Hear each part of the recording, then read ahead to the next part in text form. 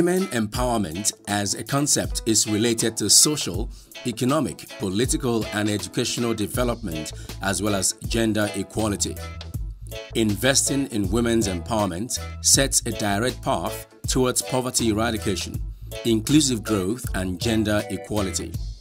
Women make enormous contributions to economies, whether in businesses on farms, as entrepreneurs or employees, or doing unpaid care work at home. In fact, empowering women, especially the rural women, has become important issues in the strategies of balanced development with social justice. UN Secretary General Antonio Guterres further underscore how important this concept is when he expressed a strong opinion that women empowerment and gender equality are essential to global progress. Women's empowerment and gender equality are essential to global progress, and we are working to achieve parity across the whole United Nations system within a decade. Let us be clear, we cannot build the future we want and achieve the Sustainable Development Goals without the full participation of all women. Nigeria, like most African countries, is a patriarchal society where men hold sway and lay down the rules. Women in most African societies are rarely perceived as partners in development efforts. They, however, comprise the majority of the population below the poverty line and have very often found themselves at crossroads where they have to make compromises and sacrifices for the benefit of all, not minding or counting the cost to their personal well-being.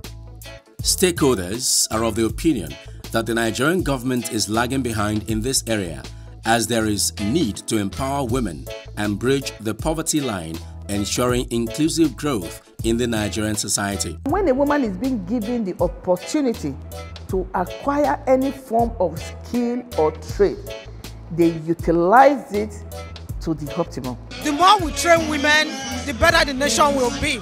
Women are entrepreneurs, women are skilled. The story, however, is changing in Delta State since Senator Okowa's emergence on the political stage as governor of the state. He has shown uncommon strength and character to accord women their pride of place, particularly in governance and empowerment. With the benefit of hindsight, the Okowa-led administration views women empowerment as a sustainable path to inclusive growth in the society. Governor Okowa has employed the vehicle of special policies and programs such as widows empowerment as well as other benefits aimed at women economic growth. There are a lot of programs that His Excellency have established. If left for the women, they will even call for his third tenure because of the way he has empowered them, making sure that the small scale loans that they need for their business are made available at nothing or role requirements. All the women that have been appointed have all been proving themselves in various appointments he has given to them. For the women, they are the ones that even cheer him more of a. His Excellency Senator Dr. Ifeanyi Okowa has transformed Delta State. We are all certain that we've not had it this good in Delta State. He has empowered a lot of women and which have benefited from tremendously. If you get into the market, everybody's singing his praises because he's done a lot of empowerment for women. Because if you educate a woman, you have educated a thousand people. When you build a woman, like the saying goes, you're building a whole nation. So the governor is building women, and I know it's having a positive effect on Delta State. I can tell you, anywhere you go, the women are praying for the governor because it's really making impact on the life of the women.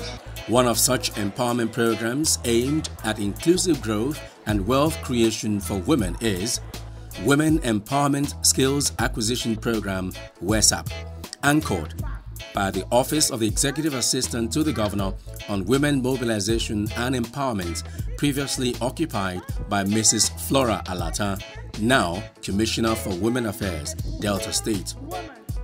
The women who form the bulk of small and medium scale enterprises do not have the requisite financial muscle to set up macro industries. It was for this reason the Okowa led administration established the Office of the Women Mobilization for their development and training preparatory to their empowerment.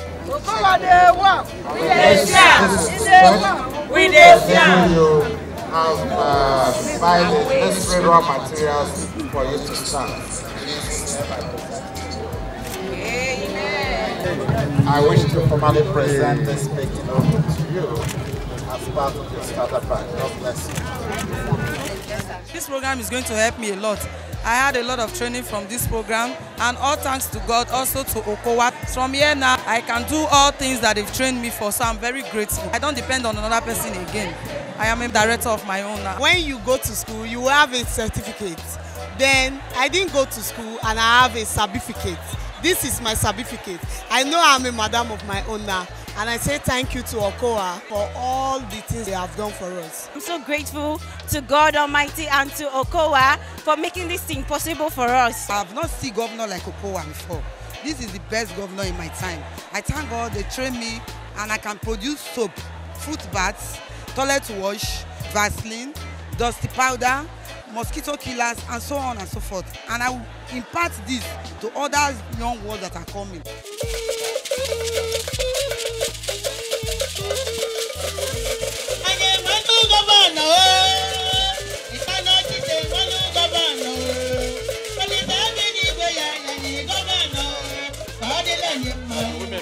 Some of the beneficiaries, like Grace Ejaroga, who hails from Ayara community, testify about the immense impact the program has had on her, especially the training she received in soap making. What try for us? The training helped me. After I give money, I can go market, go buy the tissue they do the soap. I can start the business. As a seller, they give me money to help myself. This program is good to continue because it helps better women. Grace's husband, Mr. Ejaroga, lauded the efforts of the government towards empowering not just women in the state, but mostly those in the rural areas. When she started the day that she came, what chemical started, we all, all of us were just washing until the final production came out. One and zero is not the same thing. So the little you are getting is adding to the economy of the home. It's a laudable idea. We pray the governor should continue. Juliana Okitiakwe and Ese Iwiwu are both beneficiaries and give kudos to government for the life transforming program.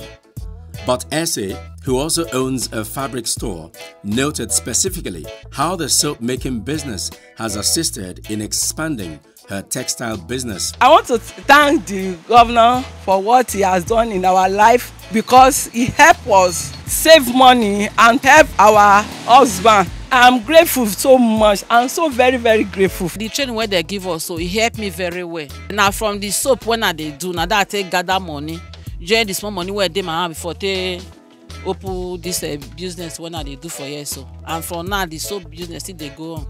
Governor Okowa try well well for our body so may God bless am may God still give am more power may e still empower people. Madam, good morning. Rose Ukbejoba, whom Smart Delta media team met on ground, commended Governor Kowa for the initiative to train and empower women in the state. She hopes to benefit from the program someday. The thing good. It comot so many people from suffering. I wish governor go fit still train me make I still sabi am. I go like am well well. I no go come dey carry from her. I go just dey do my own direct. This our governor so na baba na governor when he sabi everything governor when he dey do make everybody chop. Many at different levels across the state have commended the governor for enhancing the prospect of women in the state, most especially those at the grassroots.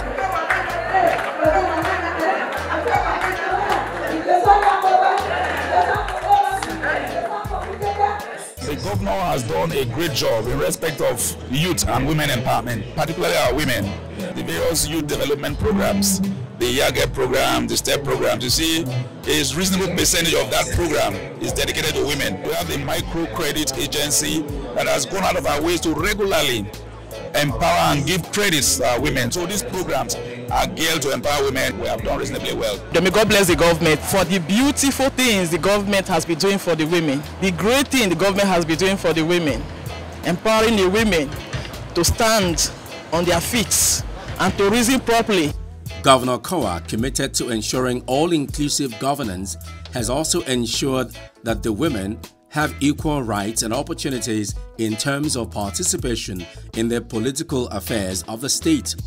To this end, he has been able to appoint women into political offices at different levels in the state.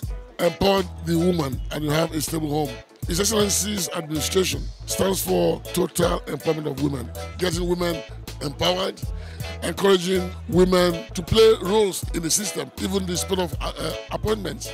Women have been appointed into credible offices. I don't think women have ever had it so good. His Excellency is a people-oriented governor. When it comes to women, he has not left women out of anything that he does.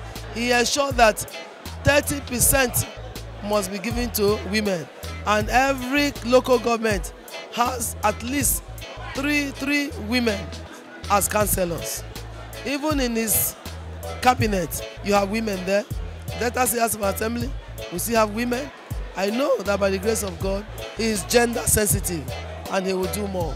the governor we have uh, senator dr ato ifeanyi for who he is is a, is, is a governor that is gender sensitive and he knows the roles of women in politics and in the society. Smart Delta. Welcome to Delta. My Delta, my Delta. Ah. Welcome to Delta. My Delta, my Delta. Come live in Delta. Come invest in Delta. Explore the potentials of our state. You better run, run, come, come to Delta State. Come and see the good things where Okowa they do. You better run, come, come to Delta State.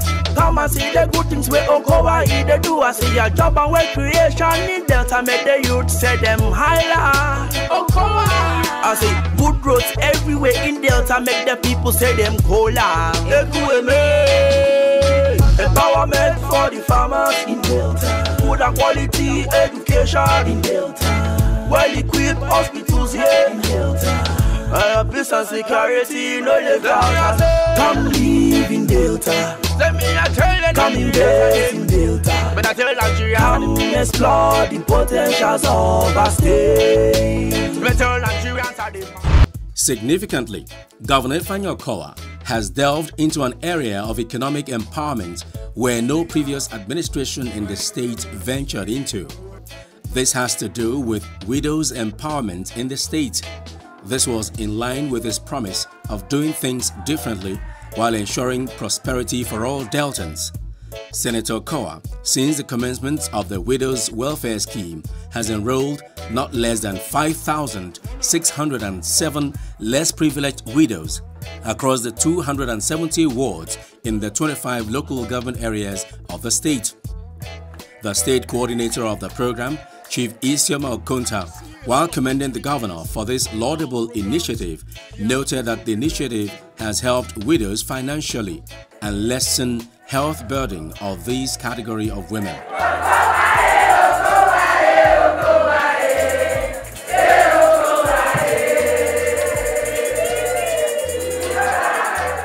Program is for the grassroots.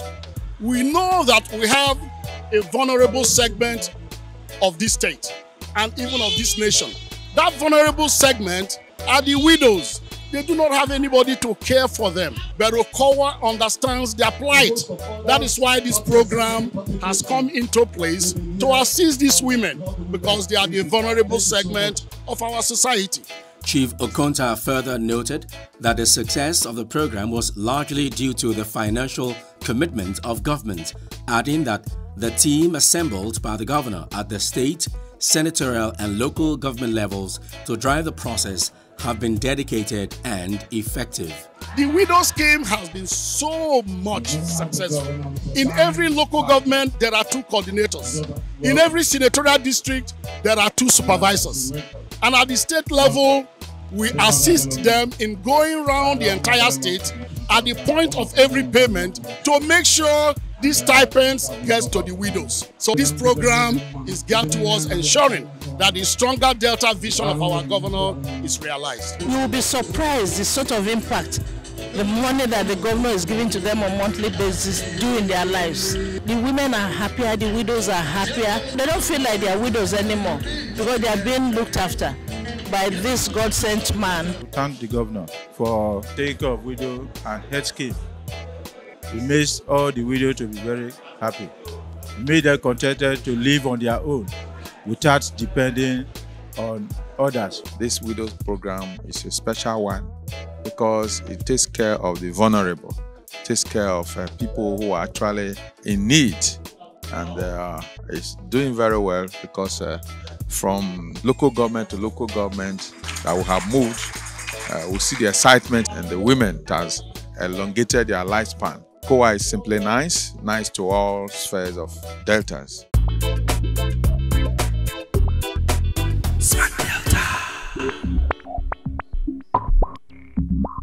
Delta State government under Senator Okowa has demonstrated its love and care for Deltans, especially the Widows Empowerment Scheme, where a token is given to this vulnerable group every month. This gesture by the government has helped some of these women set up small and medium-scale enterprises, SMEs, which has helped them run their homes and further reduce the burden of unemployment. God is using governor to do in my life and the life of my children. I used to do small, small business. I'm a supplier of jerry can to one uh, company at Wari. It is the help of this money, and I used to benefit from it. I so much thank our governor. Okowa is helping me.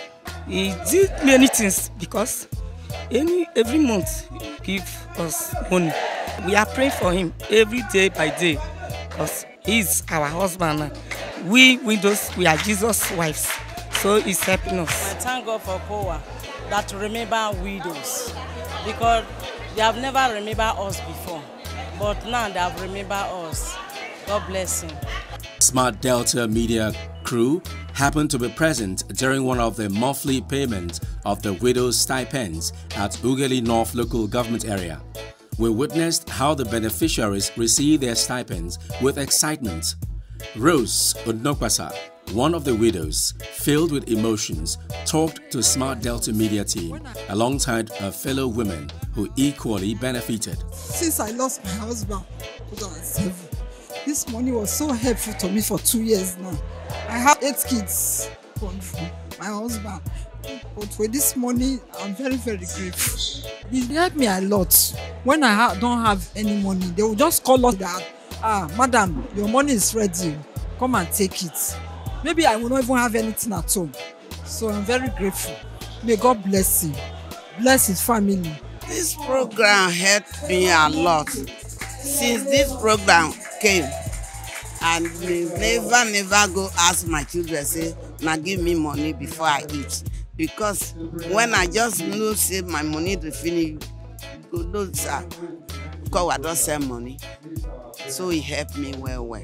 See, as I be now, I'm 77 years old. But because of this program, I dey look young, younger, younger every day. Honorable Godwin Adode, chairman of the local government council, and Chief Gabriel, one of the community chiefs, bear their minds on the level of impact the program has and still is making in the lives of these indigent women. We give kudos to the governor for organizing such program for the widows. A lot of the widows today they are benefiting much from the state government because he pay them monthly, of which they have not done such before. And majority of our people, parents are happy, and traditional rulers are happy. Myself, I'm happy.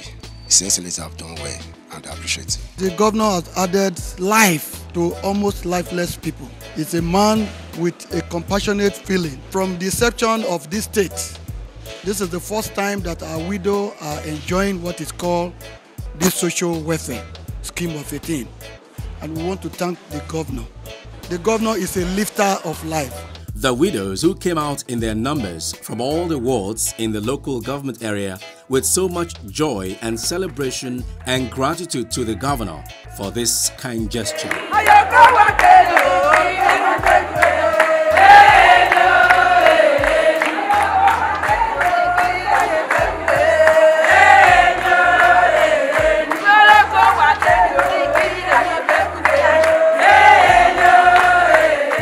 Committed to dividends of democracy, the governor has ensured that every form of empowerment reaches the nooks and crannies of the three senatorial districts of the state. On the supervisory tour with the state coordinator and members of the team to Isoko South local government area during one of the monthly payments, Smart Delta media team once again witnessed an atmosphere of joy and gratitude. Beneficiaries were unanimous that their lives have changed. Since when my husband died, na so so cry, I been dey cry, no helper. Today now, I am praising God for the help that uh, COA have rendered to us. It make me to be higher now. Since Okowa came in, we see more changes in Delta State as a whole. Okowa remember what in the Bible and he called all the widows. The money that our daddy used to give us Okowa, when I collect the money, I will now start to buy some of my children's books. Even at times I will gather the money to buy, join what's in my hand to buy them wares. So I'm so grateful. May God take him higher. And as he's doing to us, let God pay him back double without no count. Health, they say, is wealth. To this end, as part of the Widows Empowerment Program, health benefits are embedded. The women enjoy free access to healthcare services through the Contributory Health Insurance Scheme. His Excellency is helping the widow to ensure that they are healthy by providing for them 5,000 every month and a card to go and receive free health care at the health centers and hospitals in the Delta State through the contributed health scheme of the state. It's a very good development because most of the widows they come in with are usually hypertension and DMI. Most times it's very expensive. They are usually very happy about the scheme. It's a big relief financially to them because they now have access to drugs and good services without costs. Anything wey e do me now i go waka go there i go give them this card dem go treat me and my body go dey fine god go bless am because since we dey get governor we never get kind governor wey dey take care of widow say if we dey sick we go go health center and he go pay us money every month. when i see am as i always salute i go salute am and tell am say god go bless am and only god na go really bless am. Mrs. Amadi Obi and Mrs. Angela Odogu and several others who enjoy this free healthcare services testified after the fact. This uh, widow's uh, welfare scheme, we've been enjoying it. They take care of us health-wise. It has helped me in so many angles. I want to say very big thank you on behalf of the widows because I have not seen such. Since he decided to take care of widows, God will take care of him and his family in the name of Jesus. The governor has been helpful to us, myself, since he entered into office. I've been a beneficiary of his smart agenda as a widow. Every month he us. I've been going to the hospital for free medical treatment and they be attended to us. I plead that he shouldn't stop because it has been very us. This program, since when they start, I dey go two years plus now. Dey receive this money. Eh? Hungry don comot for my life. My children, I dey buy garri, they dey chop well. Okowa don do many things give us. Since when Okowa dey, we no dey suffer. We dey go hospital free. Our children dey go free. Okowa na do am give us. I feel happy. I always dey pray for Okowa with him wife, with him children. God go protect and give us. If he say they gree make e go another year, make e do for twelve years, eh, me I go support am because e dey comot us from hungry. Comot us from suffer. The Okowa-led administration has continued its quest to build a stronger Delta through the creation of wealth for its citizenry and called on several empowerment programs targeted at thousands of youths and women in the state. This has not only ensured prosperity for the people, but also enhanced the economic competitiveness of the state.